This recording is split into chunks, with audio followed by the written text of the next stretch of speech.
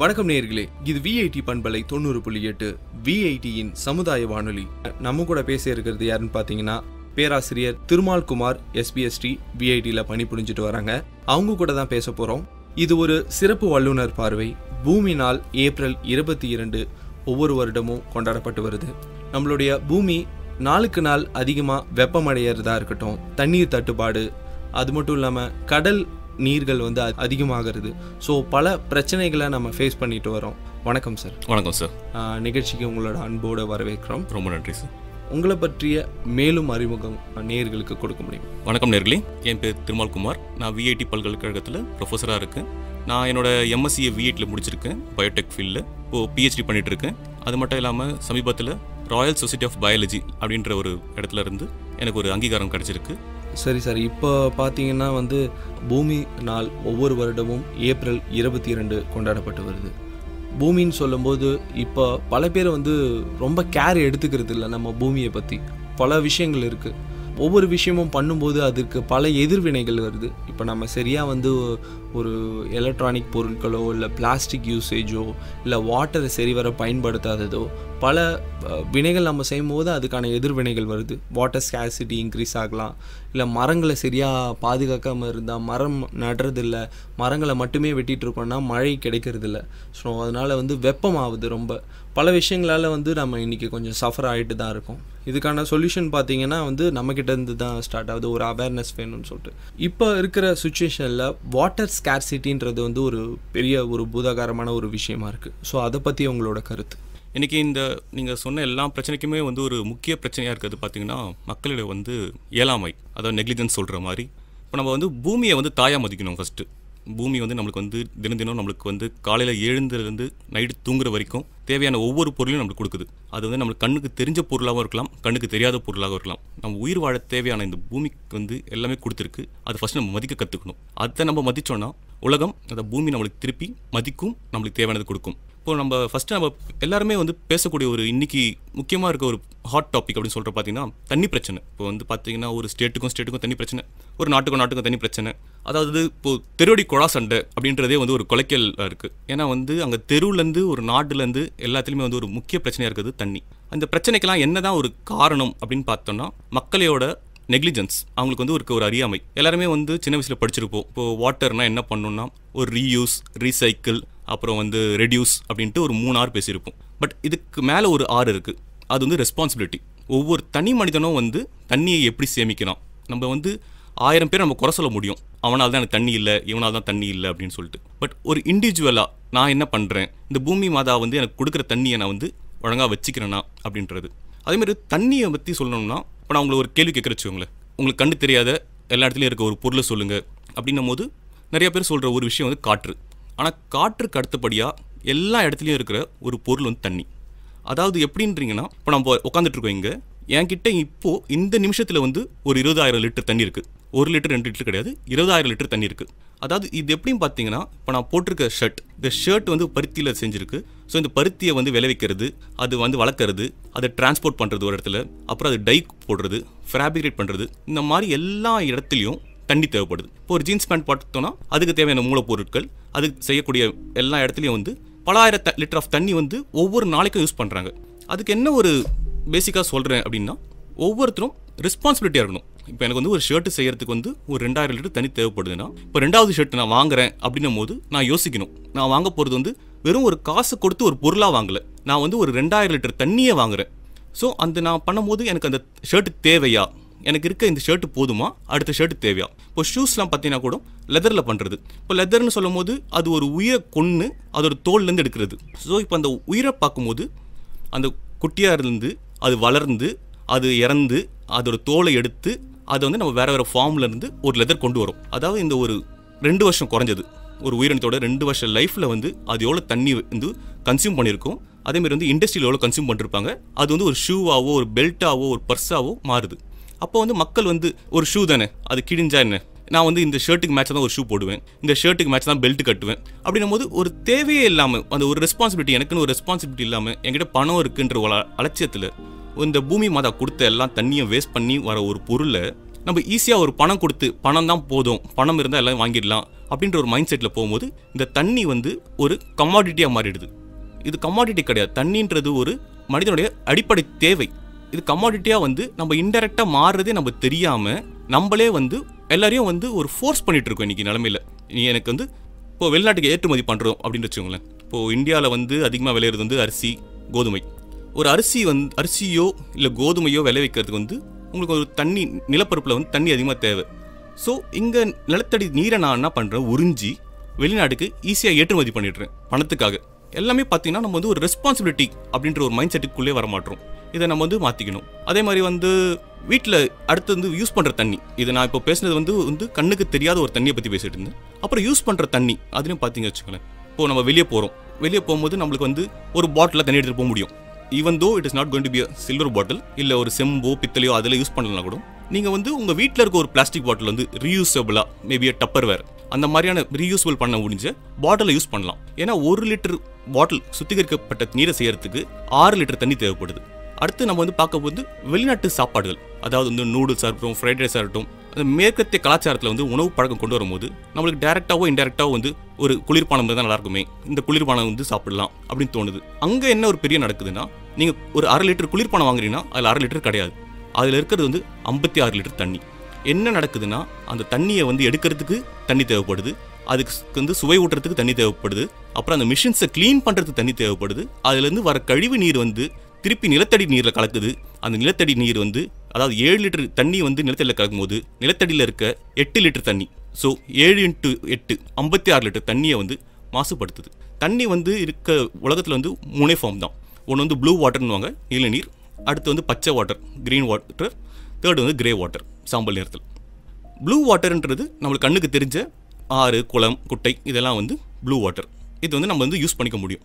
அடுத்து இருக்கிறது வந்து க்ரீன் வாட்டர் க்ரீன் வாட்டர்ன்றது வந்து டைரெக்டாக மழை பெஞ்சு அந்த மழை வந்து சாயிலில் போய் இறங்கி அதை வந்து மரங்க எடுத்துக்கும். ஏன்னா மரங்களுக்கு வந்து வாட்டர் தான் இருக்க ஒரே பெரிய ரிசோர்ஸ் ஸோ அது வந்து வேறு வேறு ப்ராடக்ட்டில் நம்மளுக்கு வந்து மரம் கொடுக்குது. அது வந்து டேபிளாவோ இல்லை சேராவோ நம்ம வந்து அதை யூஸ் பண்ணிக்கிறோம். அடுத்து இருக்கிற கடைசியாக இருக்கிறது கிரே வாட்டர் கிரே வாட்டருன்றது தான் இன்றைக்கி ஒரு அபாயகரமான நிலையில் போயிட்டுருக்கு. கிரே வாட்டர்ன்றது நாம் சுத்திகரிக்கப்படாத மற்ற விஷயத்துக்கு யூஸ் பண்ண தண்ணீரை வந்து கலப்படம் பண்ணிட்டோம். அதாவது வந்து அதை யூஸ் பண்ண முடியாத ஒரு ஃபார்முக்கு நம்ம வந்து எடுத்துகிட்டு போய் சேர்த்துட்டோம். அந்த தண்ணியோட நிலைமை வந்து இன்றைக்கி அதிகமாக ஆகிட்டே இருக்கு. இந்த தண்ணி வந்து கடல் நீரோட சேரும் போது கடல் நீரும் வந்து உயர்ந்து அழிய ஆரம்பிக்குது.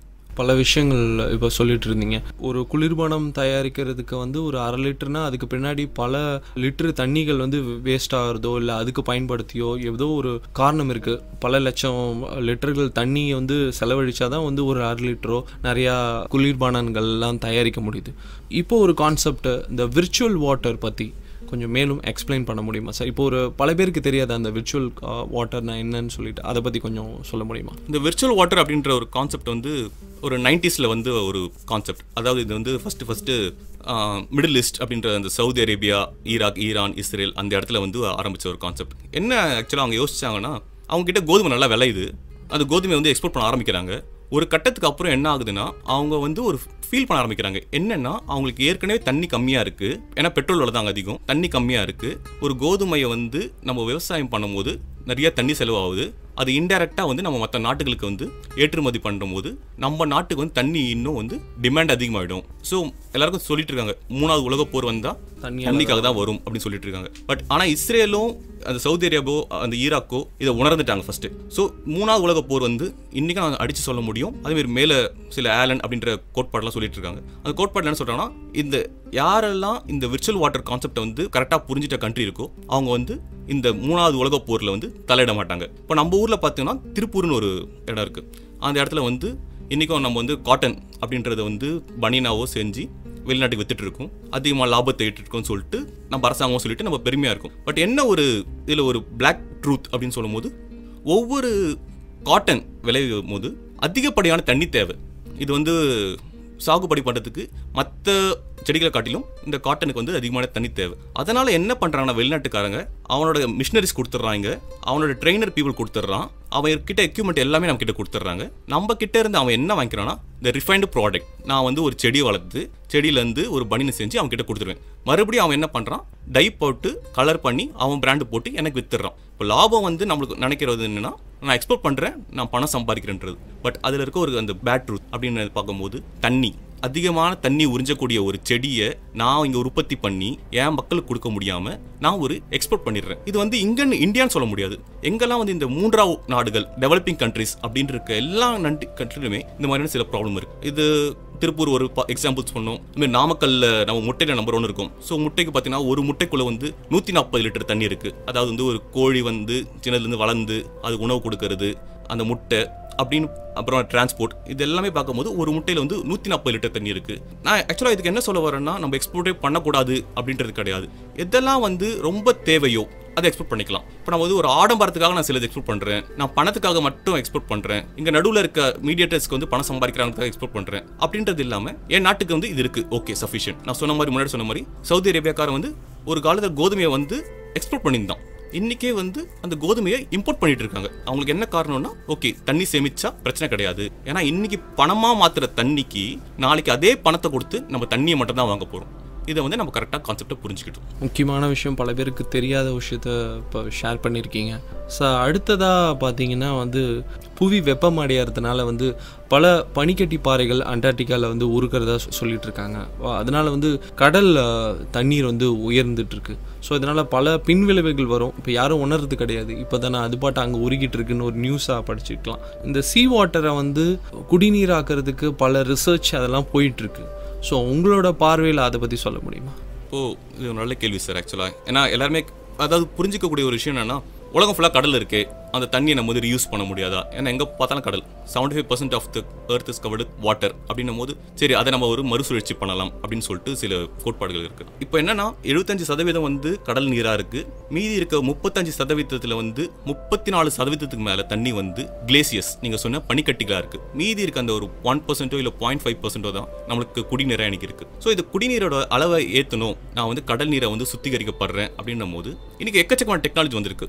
அது வந்து மாற்றுப்பாடு மாற்று கருத்து என்கிட்ட இல்லை. பட் என்ன ஒரு மறுபடியும் அதில் ஒரு விஷயம் என்னென்னா நான் மறுபடியும் சொன்ன அந்த விர்ச்சுவல் வாட்டர் அந்த சொல்லணும்னா இப்போது நீங்கள் வந்து ஒரு லிட்டர் கடல் நீரை வந்து குடிநீராக மாற்றணும் அப்படின்னா உங்களுக்கு ஒரு லிட்டர் வந்து அரை லிட்டர் குடிநீராக வரும். அதாவது நீங்கள் வந்து ஒரு நூறு லிட்டர் கடல் நீர் எடுக்கிறீங்கன்னா ஐம்பது லிட்டர் குடிநீர் கண்டிப்பாக கிடைக்கும். இதில் வந்து மாற்று கருத்து இல்லை.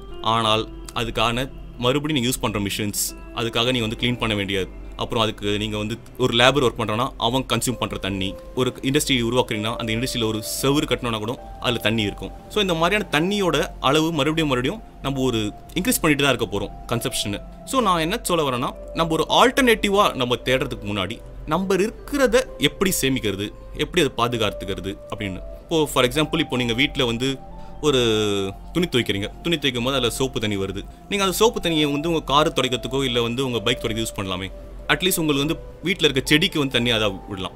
ஆனால் நம்ம என்ன பண்ணுறோம் நம்ம வீட்டில் வர அந்த சோப்பு தண்ணியிருந்து ரோட்டில் விட்டுறது இல்லை வந்து யூஸ் பண்ணாமல் அதை வந்து வேஸ்ட் பண்ணுறது அப்படி மறுசுழற்சியே நம்ம எதுவுமே பண்ணல. நம்ம வந்து ரீயூஸே பண்ணல எதுவுமே அப்படின்னும் போது கன்சப்ஷன் ரேட் அதிகமாகிட்டே தான் இருக்கும் நம்ம என்ன தான் ஆல்டர்னேட்டிவ் கொண்டு வர முடிஞ்சாலும் சயின்ஸை வச்சு அதுக்கான இன்வெஸ்ட்மெண்ட் அகைன் இங்கே வந்து மணியாக இருக்க போகிறது இன்வெஸ்ட்மெண்ட்ன்றது வாட்டராக தான் இருக்க போகுது. நம்மக்கிட்ட இருக்க இந்த ஒன் பர்சன்ட் ஆஃப் வாட்டரை வந்து நம்ம எப்படி சேமிக்கிறதுன்னு பார்க்கணுமே தவிர அடுத்த ஆல்டர்னேட்டிவ் நம்ம யோசிக்க ஆரம்பிக்கும் போது இந்த ஒன் பர்சன்டே நம்ம வந்து இன்வெஸ்ட்மெண்ட்டாக பண்ணிட்டு அதை கம்மி பண்ணால் அதில் லைக் வேலைக்கு ஆகாது ஸோ நம்மளுக்கு இப்போ ஒரு நீர் தேவை இருக்கும்போது ஒரு பர்சன்டேஜ் இருக்குன்னா அதுக்கு வர வைக்கிறதுக்காக பின்னாடி பல விஷயங்கள் நம்ம செய்ய வேண்டியது இருக்குது இப்போ நீர் ஆதாரம் பார்த்தீங்கன்னா முன்னாடியும் சரி பூமி தொடங்குனதுலேருந்தே சரி நீர் ஆதாரம் பார்த்தீங்கன்னா வந்து மழை தான் நம்மளுக்கு ஒரே ஒரு நீர் ஆதாரம். அதன் மூலிமா தான் வந்து நிலத்தடி நீர் நம்மளுக்கு வந்து கிடைச்சிது. அது மூலிமா தான் நம்ம எல்லாம் யூஸ் பண்ணிகிட்டு இருக்கோம். இப்போ ஒரு ஒரு குளமோ ஒரு குட்டையோ உள்ள கிணறை வந்து மழை நீரால் நிறைஞ்சதுன்னா நம்மளுக்கு ஃப்யூச்சரில் யூஸ் பண்ணுறதுக்கான வாய்ப்புகள் நிறையா இருக்குது ஸோ அந்த வகையில் இந்த ரெயின் ரெயின் வாட்டர் ஹார்வெஸ்டிங்கிற ஒரு விஷயம் வந்து முன்னாடி கொஞ்ச நாளுக்கு முன்னாடி நிறைய அவேர்னஸ் வந்தது நிறைய பேர் பண்ணிகிட்டு இருந்தாங்க. இப்போ அது கொஞ்சம் கொஞ்சமாக டவுன் ஆகிடுச்சு ஸோ மறுபடியும் செய்கிறதுனால ஃப்யூச்சரில் நம்ம வர சந்திக்க போகிற வாட்டர் ஸ்கேர்சிட்டியை ஃபேஸ் பண்ண முடியுமா?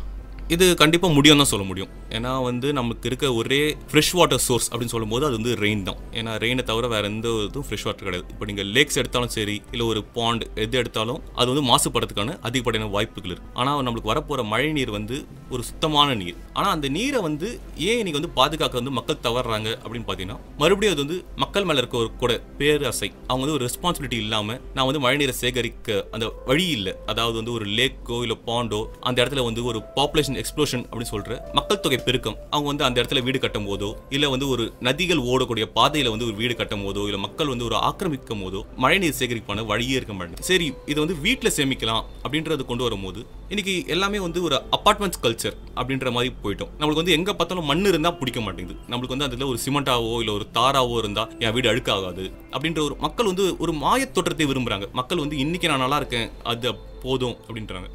அவங்க வந்து ஒரு மழைநீர் சேகரிச்சா அட்லீஸ்ட் என் வீட்டு கிணத்துலயா தண்ணி வருமே? என் வீட்டில் இருக்க போர்லயா தண்ணி வருமே? அப்படி வந்தால் என் பையன் நல்லா இருப்பானே? என் பேரன் நல்லா இருப்பானே? அப்படின்ற ஒரு ப்ராட் மைண்டில் வந்து மக்கள் வந்தாங்கன்னா கண்டிப்பாக இந்த மழைநீர் சேகரிப்பை வந்து அரசாங்கமோ இல்லை யாரோ வந்து கம்பல் பண்ணணும் அப்படின்ற அவசியம் இல்லாமல் வீட்டில் சேமிப்பாங்க. சப்போஸ் உங்களுக்கு எங்குமே வீட்டில் சேமிக்க முடியல அப்படின்னா மேபி முனிசிபாலிட்டி இல்லை கார்ப்பரேஷன் அவங்க என்ன பண்ணலாம்னா இது ஒரு பைப் சர்வீஸ் கொண்டு வரலாம். பைப் சர்வீஸ் கொண்டு வந்து அந்த நீரை வந்து ஒவ்வொரு டிஸ்ட்ரிக்ட்டுக்கோ இல்லை ஒவ்வொரு தாலுக்காலையோ ஒரு ஆறோ இல்லை ஒரு குளமோ இருக்க இடத்துல வந்து அதை லிங்க் பண்ணி விட்டுறலாம் தண்ணியை. இது வந்து நீங்கள் வீட்டில் தான் பண்ணணும் மழைநீர் சேகரிப்பு அப்படின்னு கிடையாது. நீங்கள் வீட்டில் வர தண்ணியை வந்து ஆறுலையும் சேமிக்கலாம் குளத்தையும் சேமிக்கலாம். பட் இது என்னன்னா ஒவ்வொரு தனி மனிதனும் வந்து என் வீட்டில் இருந்தால் இது நல்லா இருக்குமே அப்படின்ற அந்த மைண்ட் செட்டுக்கு வரணும். அந்த மைண்ட் செட் வரலன்னா இது மாற்ற முடியாது. ஸோ நிகழ்ச்சிகளை முன்னாடியே நீங்கள் சொன்னீங்க. அதாவது பல அறிஞர்களும் பல சயின்டிஸ்ட் அந்த மாதிரியான ஆய்வாளர்களும் சொல்கிற ஒரு விஷயம் மூன்றாம் உலகப்போர் வருவது கண்டிப்பாக வந்து தண்ணிக்காக தான் இருக்குன்னு சொல்லிட்டு. இப்போ பல நாடுகள் அதை வந்து உணர்ந்து அவங்களுக்கான ஃப்யூச்சருக்கு என்னென்ன தேவைன்ற விஷயங்களை செஞ்சிட்ருக்காங்க. ஸோ இன்னும் நிறைய நாட்டில் வந்து வாட்டர் ஸ்கேசிட்டி வந்து ரொம்ப பீக்கில் இருக்குது நம்ம இந்தியாவில் கூட பார்த்திங்கன்னா குறிப்பிட்ட ஒரு சதவீதம் தான் வந்து நிலத்தடி நீர் இன்னும் இருக்குது அதுவும் கொஞ்ச நாளில் கம்மியாயிடுச்சுன்னா கண்டிப்பாக வந்து பெரிய பிரச்சனையில் அது கொண்டு போய் முடியும். ஸோ அதை எப்படி நம்ம தவிர்க்கலாம்ன்ற விஷயத்தை. ஆக்சுவலாக எல்லாரும் சொல்கிறது மூன்றாம் உலக போர் வந்து வரப்போகுதுன்னு அப்படின்னு சொல்கிறோம் தண்ணிக்காக பட் ஏற்கனவே வந்து ஆரம்பிச்சிச்சு ஏன்னா இன்றைக்கி வந்து இருக்கிற அதிகப்படியான நீர்நிலைகள் எல்லாமே வந்து ஒரு போலீஸ் கண்ட்ரோல்லையோ இல்லை இருக்க அங்கே இருக்க டிஃபென்ஸ் கண்ட்ரோல்லையோ அது வந்து கொண்டு வந்துட்டாங்க. அதுதான் வந்து ஒரு வேதனைப்பட வேண்டிய விஷயம் இன்னைக்கு இருக்கிறது. ஏன்னா நம்ம வந்து வரப்போது வரப்போதுன்னு வந்து ஏதோ ஒரு ஐம்பது வருஷம் கழிச்சு இல்லை நூறு வருஷம் கழிச்சு வரப்போது நினச்சிட்டு இருக்கோம். பட் அது கிடையாது. ஏற்கனவே வந்துடுச்சு. அது நமக்கு அண்டை நாட்டில் இருக்கட்டும் அவங்க வந்து ஒரு தண்ணியை வந்து எனக்கு தான் சொந்தம் அப்படின்னு சொல்லிட்டு ஒவ்வொருத்தரும் சொந்தம் கொண்டாட ஆரம்பிச்சிட்டாங்க. ஸோ சொந்தம் கொண்டாட ஆரம்பிக்கும் போதே நம்மளுக்கு வந்து உள்ளே வந்து இதுதான் வந்து உலக போர். உலக போர்ன்றது நம்ம வந்து யாரும் வந்து துப்பாக்கி எடுத்து சுட்டுக்கிட்டோம் அப்படி இருக்க போகிறதில்ல உள்ள ஒரு வெஞ்சன்ஸ் அப்படின்றதே வந்து வர ஆரம்பிச்சிச்சு. இது காரணம் வந்து தண்ணீர் தட்டுப்பாடு. அதுக்கப்புறம் வந்து இந்த நிலத்தடி நீரில் வந்து முக்கியமான விஷயம் நம்ம வந்து இந்தியாவில் பற்றி பார்த்துட்டு இருக்கோம். பட் ஆஃப்ரிக்காவில் ஏற்கனவே நிலத்தடி நீர் ஆல்மோஸ்ட் ஜீரோ லெவல் தொட்டுச்சு. கேப்டவுன் அப்படின்ற ஒரு நகர் வந்து ஜீரோ பர்சன்ட் தொட்டுட்டு திருப்பி அது வந்து ரிசோர்ஸ் வந்து ரீகெயின் பண்ணிட்டு இருக்காங்க. பட் அது எந்த அளவுக்கு வந்து இன்னும் சாத்தியமாக இருக்கும் அப்படின்றத வந்து நம்மளால் வந்து ஒரு கான்ஃபிடென்ட்டாக சொல்ல முடியாது. இந்த லெவல் வந்து கண்டிப்பாக இன்க்ரீஸ் ஆகிடும் அப்படின்னு.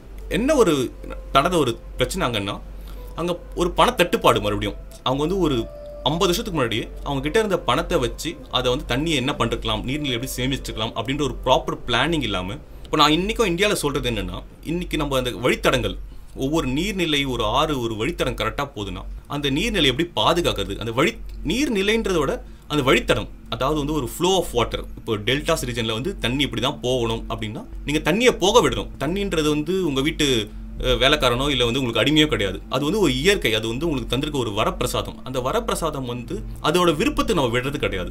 ஒரு நீர் வந்து ஒரு நிலையில் ஒரு upper to lower region move ஆகிற தண்ணியை வந்து நீ இப்படி போகாத நீ இப்படி தான் போகணும்னு கால்வா வெட்டுறது.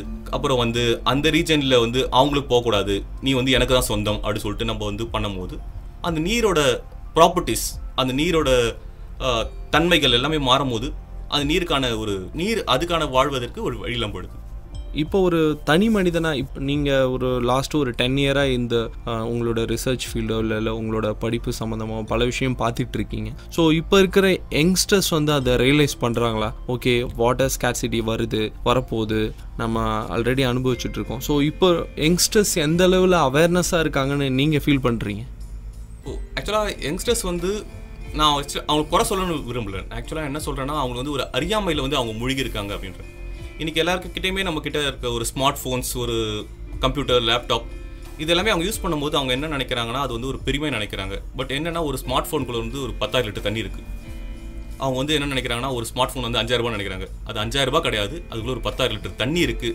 அப்படின்றத உணர்றது கிடையாது. அதேமாதிரி வந்து ஒரு ஃபேன்சி மாட் அதாவது வந்து நான் வெளியே போனால் தண்ணி எடுத்துன்னு போனால் எனக்கு ஒரு அசிங்கம். அது வந்து கையில் தூக்கின்னு போனால் எனக்கு வந்து ஒரு கௌரவ குறைச்சலாக இருக்குது நாங்கள் போனால் வாங்கிக்கலாம். அதே மாதிரி வந்து நான் வெளியே போனால் வந்து ஒரு குளிர்பானம் தான் குடிப்பேன். நான் வந்து இளநீரோ இல்லை பதநீரோ இல்லை நுங்கோ அது சாப்பிட்டா வந்து எனக்கு வந்து கௌரவ குறைச்சலாக இருக்குது அப்படின்ற ஒரு இது ஒரு மாயத்தோற்றம் நான் இது மறுபடியும் மறுபடியும் சொல்கிறேன் உங்களுக்கு வந்து ஒரு குளிர்பானம்ன்றது வந்து உங்கள் நாக்கை மட்டும்தான் குளிர் ஊட்டும் தவிர உங்கள் உடலை குளிரை ஊட்டாது என்றைக்குமே உங்களுக்கு வந்து இளநீரோ ஒரு பதநீரோ நுங்கோ இந்த மாதிரியான நம்மளோட இயற்கை உணவுகள் அது சாப்பிடும்போது உங்களுக்கு உடம்பும் வந்து குளிராகும். உங்களுக்கு வந்து நீங்கள் ஒரு சொசைட்டிக்கு நல்லது பண்ணுறீங்க அதாவது வந்து நான் சொன்ன மாதிரி அந்த குளிர்பானத்தினால ஐம்பத்தி ஆறு லிட்டர் தண்ணியை நான் வேஸ்ட் பண்ணுறதை விட இளநீர் வந்து எதுவும் பண்ண போகிறது இல்லை இது வந்து தேங்கான்றது வந்து தான் உண்ட நீரை தலையாலே தான் தருதலான் அப்படின்ற ஒரு இதுதான் தென்னை மரம். ஸோ அதை நம்ம யூஸ் பண்ணலாம்.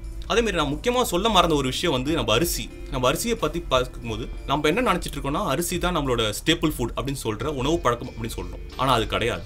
ஒரு முந்நூறு வருஷம் ஒரு இரநூறு வருஷத்துக்கு முன்னாடி போனோம்னா நம்மளோட உணவு வகையில் வந்து வரகு சாமை அப்படின்ற சில சிறுதானியங்களாக இருந்தது. இதெல்லாம் நம்ம வந்து அதிகமாக பயன்படுத்தும் போது அதுக்கான செலவிடப்படும் தண்ணீர் அளவு அதை விவசாயம் பண்ணணும் அப்படின்னா அது ரொம்ப கம்மி. ஆனால் அரிசியை வந்து நம்ம விவசாயம் பண்ணும்போது தண்ணி அதிகமாக செலவு பண்ணி நம்ம என்ன பண்ணுறோம்னா இன்டைரக்டாக or directly we are exporting to other countries அதாவது வந்து அவ- வெளி ஒரு வெளிநாட்டுக்காரன் வந்து நம்ம மைண்டில் ஒரு மாய ஒலையை உருவாக்குறோம் அதாவது என்னென்னா அரிசி சாப்பிட்டா தான் உணர்வு அரிசி தான் உனக்கு வந்து எனர்ஜி தரும். அரிசி அரிசின்றது வெறும் ஒரு குளுக்கோஸ் ஒரு கார்போஹைட்ரேட் ஃபுட் அதை தாண்டி நம்மளுக்கு தேவை ப்ரோட்டீன்ஸ் இருக்குது விட்டமின்ஸ் இருக்குது அது எதுவுமே நம்மளுக்கு வந்து தேவையில்லை. அப்படின்ற மாதிரி ஒரு மாய விலை கொண்டு வந்து நம்மளை கல்டிவேட் பண்ண வச்சு அதாவது கல்டிவேட் பண்ணுறது காரணம் என்ன நம்ம கிட்ட தண்ணி வந்து அபண்டண்ட்டாக இருக்குது நம்மளுக்கு அதிக அளவில் தண்ணி இருக்குது ஸோ நம்ம என்ன பண்ணுறோம் அதை கல்டிவேட் பண்ணி நம்மளும் சாப்பிட்றோம் அவனுக்கு எக்ஸ்போர்ட் பண்ணுறோம் பட் அதை மீறி நீங்கள் வந்து சிறுதானிய உணவுகளை வந்து விவசாயம் பண்ண முடியும் கொண்டு அப்படின்னு கொண்டு வந்தீங்கன்னா அதுக்கு ஏற்படும் தண்ணியோட அளவும் கம்மி. இட் இஸ் ஹைலி ப்ரோட்டீனஸ் இன்னைக்கு வந்து இந்தியாவில் பார்த்தீங்கன்னா ஒரு டயபெட்டிஸ் லெவல் சர்க்கரை நீரை அப்படின்ற நோயில் சர்க்கரை நோயில் இருக்கும் அனைவருக்கும் வந்து நிறைய கஷ்டப்படுறதுக்கு காரணம் வந்து உங்களோட அரிசி உணவு. இந்த அரிசி உணவுக்கு நான் தண்ணியும் அதிகமாக செலவு பண்ணி வெளிநாட்டுக்கு ஏற்றுமதியும் பண்ணி எனக்கு ஒரு வியாதியும் வச்சுக்கிறேன். அதை விட்டுட்டு நீங்கள் ஒரு மாற்று உணவு முறை அப்படின்றது போகும்போது நீங்கள் தண்ணியும் சேமிக்க முடியும் உங்கள் உடல் ஆரோக்கியத்தையும் சேமிக்க முடியும். ஆனால் இளைஞர்களுக்கு மத்தியில் வந்து இது நீங்கள் எப்படி கொண்டு போக போகிறோம் அப்படின்றது வந்து இன்றைக்கும் ஒரு கேள்விக்குரியதாக இருக்குது அடுத்ததாக சார். நீங்கள் நிகழ்ச்சியின் தொடக்கத்தில் சொன்னீங்க. நீங்கள் வந்து லண்டன் ராயல் சொசைட்டியில் ஒரு மெம்பராக இருக்கிறதா சொல்லியிருக்கீங்க. ஸோ அதை பற்றி கொஞ்சம் எக்ஸ்பிளைன் பண்ண முடியுமா? ஆக்சுவலாக இது வந்து ராயல் சொசைட்டி ஆஃப் பயாலஜி அப்படின்ற வந்து ஒரு இயக்கம் பேர். இது ஒரு ஆர்கனைசேஷன் சொசைட்டின்னு சொல்லுவாங்க. இது வந்து ஒன்லி ஃபார் பயாலஜிஸ்ட் ராயல் சொசைட்டின்றது வந்து ஒரு தௌசண்ட் செவன் ஹண்ட்ரட்ஸ்லேயே வந்து லண்டனில் ஆரம்பிக்கப்பட்ட ஒரு பெரிய சொசைட்டி இப்போ நம்ம சார்லஸ் டார்வின் கேள்விப்பட்டிருப்பீங்க எவல்யூஷன் பரிமாணம் வளர்த்தவர். அவர்லேருந்து எல்லாமே அங்கே ஒரு மெம்பராக இருந்தவங்க. அங்கேருந்து அவங்க தான் வந்து ஒரு நோபல் பிரைஸ்லாம் நோபல் லாரெட்ஸ் அப்படின்றவங்களை வந்து நாமினேட் பண்ணக்கூடிய அளவுக்கு வல்லுநர்கள் அங்கே இருக்காங்க. அந்த இடத்துல வந்து என்னையே ஒரு மெம்பராக ஒரு உறுப்பினராக வந்து சேர்த்துருக்கிறதுக்கு வந்து நான் வந்து அவங்களுக்கு நன்றி சொல்ல கடமைப்பட்டிருக்கேன் அதேமாதிரி விஐடியிலேருந்து எனக்கு வந்து இந்த மாதிரி வந்து போக வழி வகுத்த வேந்தர் ஐயாவிலேருந்து என் ஆசிரியர் எல்லாருக்கும் வந்து நான் ரொம்ப நன்றி கடன் தெரிவிச்சுக்கிறேன். சரி சார் இப்போ பார்த்தீங்கன்னா வந்து ஒவ்வொரு வருடமும் பூமி நாள் கொண்டாடிட்டு இருக்கோம் ஏதாவது ஒரு அவேர்னஸ் ஒரு கருப்பொருள் இருக்கும் ஒவ்வொரு வருஷமும். இந்த வருஷம் ஒரு கருப்பொருள் இருக்குது அதாவது பிளாஸ்டிக்கை வந்து யூசேஜை கம்மி பண்ண என் பண்ணணும்னு சொல்லிட்டு. உங்களோட ஃபைனல் கருத்தாக மக்களுக்கு என்ன சொல்ல வரீங்க எந்த மாதிரியான விஷயம்? ஒரு பிளாஸ்டிக்கை தடை பண்ணுறதோ இல்லை பிளாஸ்டிக் யூசேஜ் ரீயூசபிள் பண்ணுற விஷயங்களாக இருக்கட்டும் மரம் நடுறதா இருக்கட்டும் இல்லை வந்து தண்ணீரை எப்படி சரி சரியான வகையில் வந்து அதை ஸ்பெண்ட் பண்ணுறது ஸோ எல்லா வகையிலும் ஏதோ ஒரு ஒரு வகையில் வந்து நம்ம பூமியை காப்பாற்ற முடியும். நீங்கள் பிகினிங்கில் சொன்ன மாதிரி நம்ம அது எடுத்துக்கிட்டோம்னா கரெக்டான இதை மறுபடியும் நம்ம திருப்பி கொடுக்கும்போது வந்து அந்த பூமி வந்து நம்மளை நல்லா வச்சுருக்கும். ஸோ உங்களோட ஃபைனலாக நேர்களுக்கு நீங்கள் என்ன சொல்ல வரீங்க இயற்கை சார்ந்த விஷயங்களோடு நம்ம வாழ்ந்தால் நல்லாயிருக்கும் ஸோ என்ன கருத்தை நீங்கள் பகிர்ந்துக்க விரும்புகிறீங்க நேர்கள்? அதாவது வந்து பூமியை நம்ம காப்பாற்றணும் அப்படின்னு சொல்கிறதே வந்து ஒரு கேளிக்கான விஷயம். நம்ம வந்து பூமியை காப்பாற்றி தான் பூமி வந்து வாழப்போகுதுன்னு கிடையாது. நம்ம அல்டிமேட்டாக இங்கே என்ன போராடிட்டு இருக்கோம் அப்படின்னா நம்மளை நம்ம காப்பாற்றிக்கிறது நம்மளோட தலைமுறையை காப்பாற்றுறதுக்கு மனித இனம் அப்படின்ற ஒன்று வந்து அட்லீஸ்ட் அடுத்த ஒரு ஆயிரம் இரண்டாயிரம் வருஷங்கள் தாண்டி வாழணும் அப்படின்றதுக்கு வந்து நம்ம இன்னைக்கு போராடிட்டு இருக்கோம். பட் போராடுற அதே காலத்தில் வந்து நம்ம வந்து புரிஞ்சுக்கணும். நம்ம வந்து பணம் இருந்தால் மட்டும்தான் வாழ்க்கையில் வர முடியும். இல்லை வந்து நம்ம முன்னேறினா முன்னேற முடியும் அப்படின்றது கிடையாது. நம்ம வந்து பூமியை முன்னேற்றத்தை பற்றி தான் பார்க்கணும்.